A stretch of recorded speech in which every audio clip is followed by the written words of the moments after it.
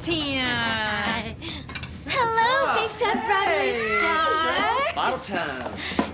These are for you. Oh no, do you have laryngitis? Oh no, she's just resting her voice. Oh, thank God. This would not be a good time for your tonsils to flare up again. Remember that? First year of Glee Club? hey, where is everyone? Rachel's opening night on Broadway is a big deal.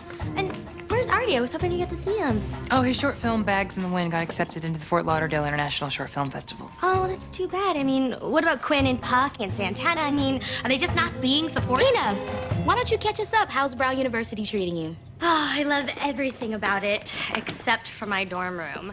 My roommate, she's nice, but she's from Pakistan and she speaks almost no English, and she's always watching that Al Jazeera channel. And no, I don't have a boyfriend, but I was dating this really nice guy, but he turned out to be a little. He's probably Homosexual. No. Yes. Anyway, Knew it. Rachel, I read this amazing story about you on BroadwayWorld.com, and they are predicting that Funny Girl is going to be a huge hit. And so is everybody else, except for a few moronic bloggers. But I mean, who are they to call you pitchy? And do not get me started on those anonymous comment trolls. I mean, that you are not that short. Shut Up.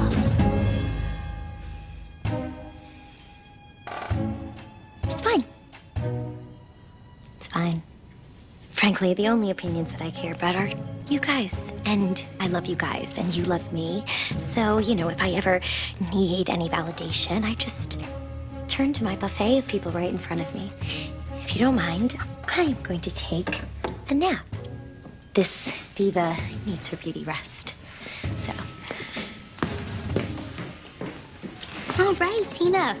Get your bags. You're coming to my place. but I thought I was staying here. What if Rachel needs my love and validation from the buffet? Let's go.